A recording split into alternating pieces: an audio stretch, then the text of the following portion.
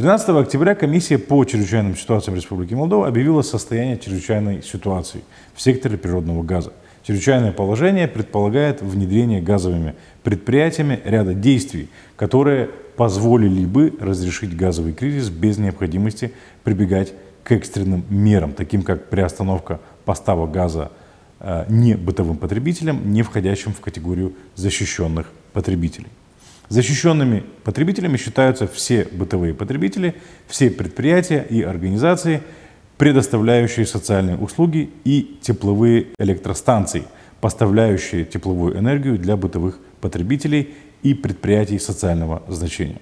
Молдова ГАЗ заявили, что предпринимаются все необходимые меры для обеспечения непрерывных поставок природного газа своим потребителям и призвали потребителей рационально использовать природный газ в кризисный период, что позволит легче преодолеть режим чрезвычайного положения. Несмотря на то, что представители молдавского руководства всех уверяют э, и заверяют граждан в том, что у них есть план действий при любом исходе переговоров, истерия в связи с сложившейся ситуацией не утихает.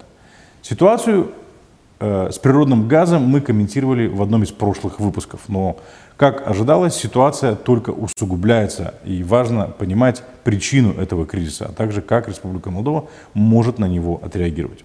В этой ситуации возникают два вопроса. Будет газ или нет и по какой цене? Мы попытаемся разобраться в сложившейся ситуации, но прежде э, всего обозначим причины возникшей ситуации. Энергетический кризис, связанный прежде всего с нестабильной ситуацией в вопросах поставки и цены на газ, на этот раз не только молдавское явление и даже не региональное, а глобальное. С энергетическим кризисом сталкивается сегодня весь мир. Причины следующие. Мировая экономика начала восстанавливаться после пандемии и резко понадобились энергетические ресурсы. Азиатская экономика раньше, чем экономика других регионов, стала выходить из пандемии и восстанавливать свои производственные мощности. Привлекая энергоресурсы, азиатские страны, прежде всего лидеры азиатских э, э, рынков, стали предлагать хорошие цены на энергоресурсы. Таким образом, цены на энергоресурсы на азиатском рынке, в том числе и на сжиженный природный газ, взлетели в связи с чем производители газа перенаправили свои поставки на азиатские рынки. Другая причина – надвигающаяся зима и необходимость пополнить запасы в газовых хранилищах в Европе. Повышение спроса непременно повышает цену, в связи с чем спотовые цены на биржах взлетели до рекордно высоких, перевалив за одну тысячу долларов за тысячу кубометров. Здесь надо раскрыть скобки, сказав, что существует два основных способа закупки природного газа. Спотовые, то есть закупка газа по краткосрочным контрактам на бирже и закупка газа по долгосрочным контрактам. На бирже цена меняется в зависимости от спроса и предложения. Цена на бирже может быть как очень высокой, так и очень низкой. Биржи дают возможность для маневра и снижают зависимость от одного поставщика. Иными словами, работают прежде всего как инструмент против монополий. По долгосрочным контрактам цена, как правило, не очень низкая и не очень высокая, но долгосрочные контракты обеспечивают стабильность, в краткосрочной и долгосрочной перспективе в вопросах поставок газа, что в свою очередь делает ситуацию более предсказуемой и дает возможность долгосрочного планирования. Нам это понадобится чуть позже, когда мы будем разбирать, почему Молдова оказалась в ситуации, в которой, в ситуации, в которой оказалась. Теперь самое время поговорить о том, как этот кризис э, встретила Молдова. Если очень просто, то оказалось, что страна не готова к этому кризису. И речь э, идет не о краткосрочных мерах, а о том, что за 30 лет существования независимой Республики Молдова ее власти не предпринимали достаточно усилий для обеспечения энергетической безопасности страны. Другой вопрос, который следовало бы задать, могла ли Республика Молдова избежать этого кризиса? Наверное, нет. Речь идет о мировом энергетическом кризисе, а Молдова не является энергетической державой, поэтому этот кризис не мог не коснуться нас. Другой вопрос, могла ли Молдова э, подготовиться к этому кризису так, чтобы пережить его не почувствовав? Не почувствовав этот кризис, Молдова никак, не почувствовать этот кризис Молдова никак не может. По той же причине. Молдова не является энергетической державой. Все 100% энергоресурсов наша страна импортирует. Поэтому мы на все 100% зависим от ситуации на мировом энергетическом рынке. И не только по вопросам поставки газа, но и по вопросам поставки электроэнергии, потому что электроэнергию Республика Молдова закупает у молдавской ГРЭС в Кучурганах, которая принадлежит российской компании Интеррау. А молдавская ГРЭС производит электроэнергию, используя тот же природный газ, ну или уголь, когда нет газа. Могла ли Республика Молдова минимизировать возможные негативные последствия от энергетического кризиса? Наверное, да. Минимизировала или нет, давайте разбираться. Молдова покупала природный газ и пока еще покупает как минимум до конца октября этого года по так называемому долгосрочному контракту с российским энергетическим гигантом «Газпромом». Почему так называемому? Потому что контракт между «Газпромом» и «Молдова-Газ» был заключен в 2006 году. Но раз в год, либо раз в три года подписывалось соглашение о продлении этого контракта. Таким образом, каждый год – перед началом отопительного сезона создавалось э, напряжение по вопросу поставок природного газа. В этом контракте была прописана формула расчет, расчетов, привязанная к другим видам топлива, которая была соизмерима с среднеевропейской ценой за природный газ. В середине 2020 года спотовые цены на природный газ, то есть цены на биржах, резко упали, достигнув исторического минимума в 35-40 долларов за тысячу кубометров.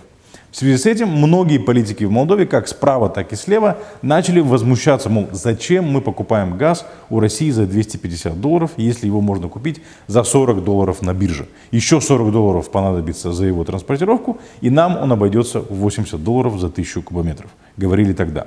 В конце 2020 года глава Молдова Газ э, Вадим Чебан заявил о том, что Молдова Газ удалось изменить формулу расчета цены на газ для Молдовы, которая будет применяться в 2021 году. По новой формуле с апреля по сентябрь Молдова сможет использовать спотовый компонент в расчете стоимости поставки газа. Это означает, что если цена на европейских биржах будет ниже, чем та, что рассчитывается исходя из старой формулы, то Молдова газ будет покупать газ на бирже, то есть более дешевый. Так сказал Вадим Чубан 22 декабря 2020 года на встрече с журналистами. Кто дал Вадиму Чубану поручение договориться о новой формуле, неизвестно. Думаю, по этому поводу необходимо провести расследование, которое должно дать ответ на этот вопрос. Оказалось, что спотовый компонент используется в расчете за газ не только с апреля по сентябрь, как заявлял Вадим Чубан, а за весь год.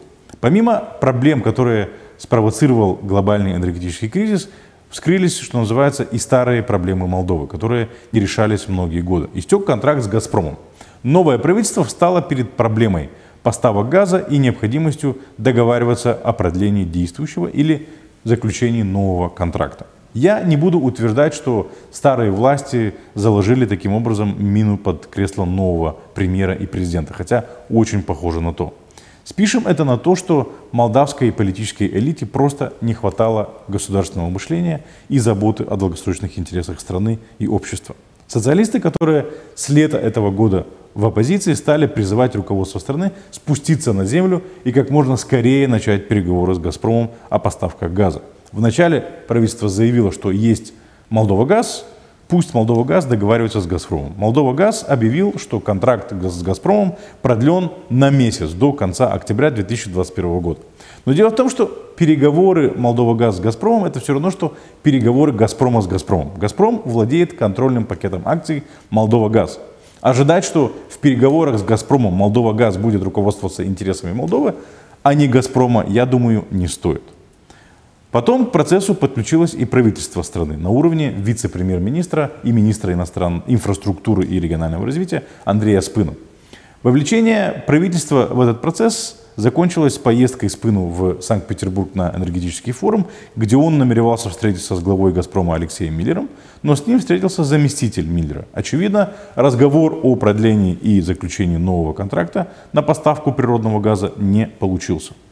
После этого социалистические и околосоциалистические СМИ запестрили заголовками. Правительство провалилось. Майе Санду нужно срочно садиться в самолет и лететь в Москву, чтобы договориться о новом контракте. Не отстался в стороне и МИД России Сергей Лавров, заявивший, что США прямо запрещает Майе Санду говорить о стремлении развивать отношения с Россией. В общем, ничего нового в риторике России. Последние несколько недель мы наблюдаем попытку разжечь истерию вокруг попыток или поставок, извините, природного газа и затянуть руководство страны в переговоры, в которых у руководства Молдовы нет никаких шансов не то чтобы добиться хоть каких-то приемлемых результатов для страны, но и выйти из, этой, э, из этих переговоров с чистым лицом. Истерия подогревается нагнетанием ситуации и провоцированием паники. Можно увидеть сообщение следующего содержания. Газа не будет или газ будет стоить 15 лей. В общем, если не будем умолять «Газпром» подписать с нами контракт, завтра настанет апокалипсис. Я ни в коем случае не пытаюсь сказать, что нет повода для беспокойства, но в такой ситуации важно сохранять спокойствие и оценивать все трезво. Общество должно понимать, что правительство может, а чего не может. А самое главное, мы должны дать себе ответ на следующий вопрос. Правительство должно добиваться газового контракта с «Газпромом» любой ценой или у Республики Молдова есть интересы помимо дешевого газа. И самый главный вопрос, сможем ли мы э, пережить повышение цены на газ и как это отразится на обществе и национальной экономике. В этой ситуации правительство ни в коем случае не должно поддаваться панике и, сломя голову, мчаться в Москву для подписания нового контракта. Республика Молдова не готова к этим переговорам, у нас нет рычагов и пространства для маневра, которое позволило бы нам торговаться с Москвой. В этой ситуации руководство страны просто выкрутит руки и навяжут контракт, который будет иметь долгосрочные негативные политические последствия. Следует вспомнить бесконечные поездки Додона в Москву и только в Москву, которые не обеспечили Молдове скидки на природный газ. Мы платили за российский газ так же, как и вся Европа. При всем при том, что Дадон является человеком Кремля. Политика Дадона явно была направлена на международную изоляцию Молдовы и зависимость от Москвы. За четыре года своего президентства, помимо Москвы, Дадон побывал только на Генеральной Ассамблее ООН, где сфотографировался с Макроном в коридоре, и на коронации японского императора. Стоит ли контракт с «Газпромом» на условиях Москвы международной изоляции Молдовы? Думаю, нет. Чего хочет от Республики Молдова Москва в вопросах поставки газа? Прежде всего, обеспечение поставок газа в Приднестровье. Вот что об этом говорит эксперт в области энергетики Сергей Тафилат.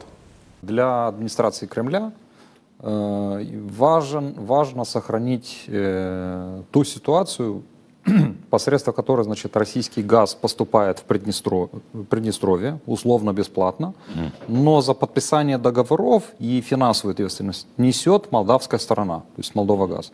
Типа, ребята, мы объясню, влияем, почему. а вы платите, да, что-то вроде этого? Да, объясню почему. «Газпром» не, э, «Газпром» является публичной компанией. Он не может себе позволить э, заключать договора с э, непризнанной компанией, допустим, Тирасполь, Трансгаз, Приднестровье. Почему? Mm. Потому что это непризнанная территория это фактически может э, э, считаться финансированием сепаратизма, там, терроризма с соответствующими последствиями для компаний. Значит, поэтому «Газпром» вынуждает нас, поскольку мы зависим от российского газа, вынуждает нас брать объемы как для правобережья, для жителей Молдовы, ага. так и для левобережья. Да. Соответственно, «Газпром» это прописал в условиях того долгосрочного договора, что То есть... мы обязаны брать и для Приднестровья. Это условно бесплатный газ поступает в Приднестровье, и приднестровские власти его перепродают местным потребителям, в основном молдавской ГРЭС, по значительно сниженным тарифам, 20-30% от реальной рыночной стоимости газа. То есть это не только домовладение, это еще и производители? В основном производители, а, да. За которые они тоже не платят, за этот газ не э, платят? Производители платят, но очень маленький тариф, там, говорю, 10, 20, 30 процентов от, реально, от того, что платим мы. Почему в Приднестровье тарифы там, на коммуналку в 6-7 раз дешевле, чем у нас? Потому что там газ бесплатный, ты его можешь также бесплатно практически раздать. Раздавать, да. Но значит, продается, продается этот газ местным потребителям по заниженным тарифам, и все поступления уходят на специальный газовый счет, откуда деньги перечисляются как займ в бюджет Приднестровья. Угу. То есть треть бюджета Приднестровья финансируется вот за счет перепродажи газа. То Самый, есть... то есть это источник финансирования Приднестровского бюджета. Долг перед Молдовой газ за голубое топливо, поставляемое на левый берег, достиг 8 миллиардов долларов. Во-вторых, России важно обеспечивать газом молдавскую ГРЭС, которая принадлежит российской компании Интеррау. А ГРЭС потребляет столько же газа, сколько весь правый берег. Третья причина – России надо обеспечивать газом население Приднестровья. Поставлять газ в Приднестровье через Украину, учитывая взаимоотношения Москвы и Киева, вряд ли получится. И речь не только об аннексии Крыма и войне на Донбассе, но и газовой войне, развернувшейся между Москвой и Киевом в последнее время. Москва строила Северный поток, чтобы избежать зависимости от Киева в вопросах поставки российского газа в Европу. А теперь ради обеспечения Приднестровья России придется договариваться с Киевом. Готова ли Москва на это? Вот что думает по этому поводу эксперт Серджио Тафилот. Мы с вами, потребители электроэнергии, вынуждены финансировать Приднестровский режим. Так что было понятно.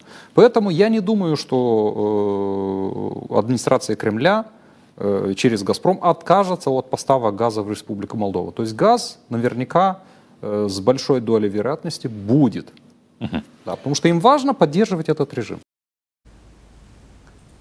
Это рычаги, которые Молдова может использовать в переговорах с «Газпромом». Но сможет ли Молдова использовать их в нынешних условиях? Думаю, нет. К этому не готовы ни правительство, ни страна. У правительства было очень мало времени, чтобы подготовиться к этим переговорам, а страна не готова к ним априори, поскольку мы не избавились от энергетической зависимости от России. Если по вопросам поставки газа у нас есть альтернативные источники, то в вопросах поставки электроэнергии мы на 100% зависим от молдавской ГРЭС, которая, как я уже говорил, принадлежит российской компании Интеррау. Эта ситуация должна подстегнуть страну и правительство ускорить, э, ускориться в обеспечении энергетической безопасности Республики Молдова.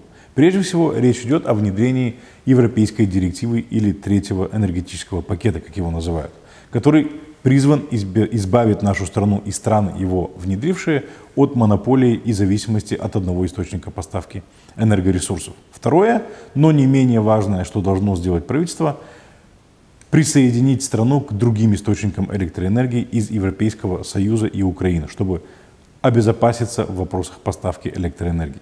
Только после внедрения этих мер правительство может позволить себе задуматься о возможности переговоров с «Газпромом».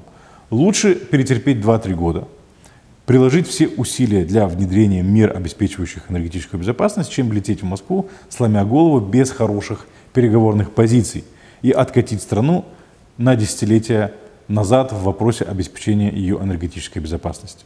Для Москвы важно как можно дольше держать Молдову зависимой от России в поставках э, энергии. России не нужен третий энергетический пакет в Молдове. И тем более России Россия не заинтересована в энергетической безопасности нашей страны.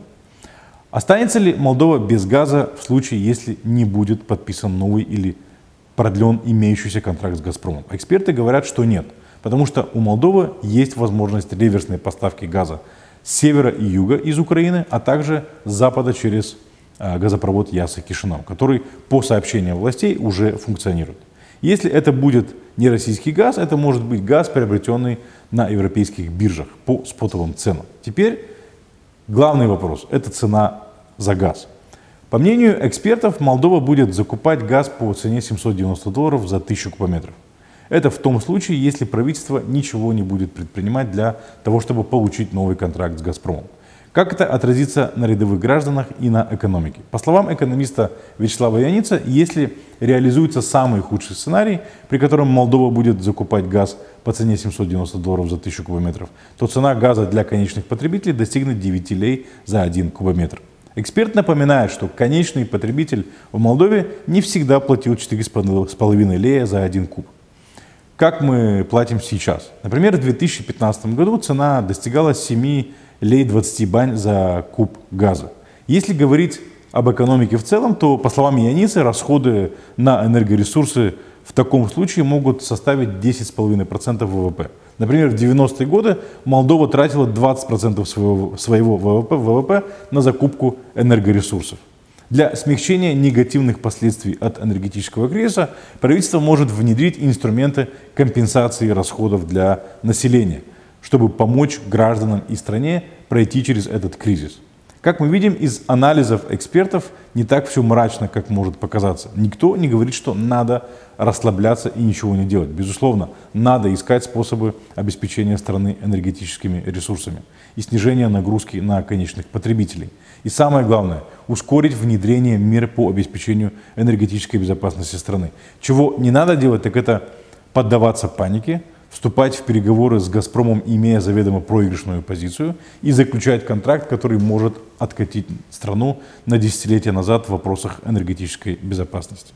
Я думаю, молдавскому обществу и политическому классу пора повзрослеть и понять, что Республика Молдова – это независимое государство. У нас, э, у которого есть свои интересы э, тоже. Независимость требует определенных усилий, но открывает неограниченные возможности. И не стоит забывать, что каких-то сто лет назад за независимость своей страны люди отдавали свои жизни, а нас пытаются напугать повышением цены на газ.